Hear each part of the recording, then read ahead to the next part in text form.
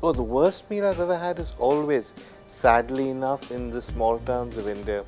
When you eat on the street, when you eat in the dhabas, food is always good.